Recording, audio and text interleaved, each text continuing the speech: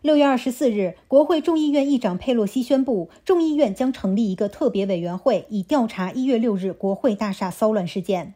此前，共和党人阻止了一项建立一个调查此事的独立两党委员会的法案。Mitch McConnell asked Republican senators to do him a personal favor and vote against the commission. Cowardly, the Republican senators did him a personal favor rather than honoring their patriotic duty to protect and defend.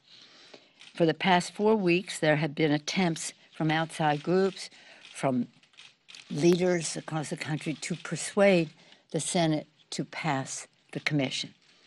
Tomorrow will be four weeks since the commission failed in the Senate.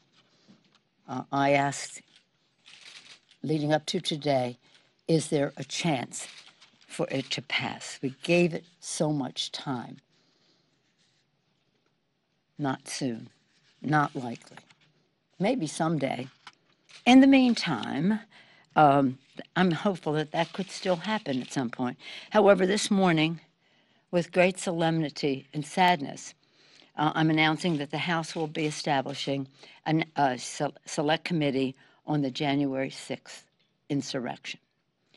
Again, January 6th was one of the darkest days in our nation's history. I've said it now three times.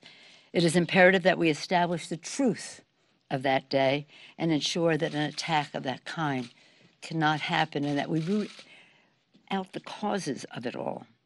他尚未任命委员会的主席，国会助手和议员们已经将众议院国土安全委员会主席本尼·汤普森视为最佳候选人。 佩洛西表示，该委员会的细节将在未来几天公布，其中将包括共和党成员。他说，他希望众议院共和党领袖麦卡锡能任命负责任的共和党成员加入委员会。